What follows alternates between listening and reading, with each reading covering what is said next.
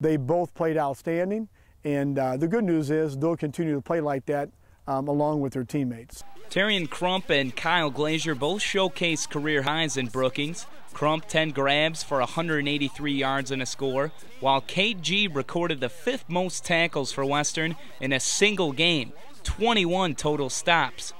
Despite the numbers, both say the milestones mean nothing without a victory.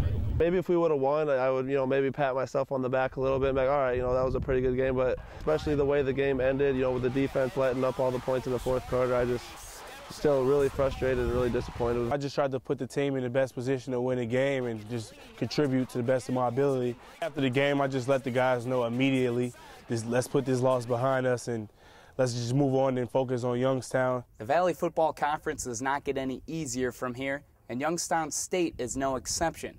Coach Hendrickson says the energy and focus is there in what he calls a tremendous bounce back ability of his football team. And for the junior Terriun Crump, he would like nothing more than to give his seniors like Kyle Glazier their first win against the Penguins. I'm trying to go in and work very hard and get them a, a victory against Youngstown.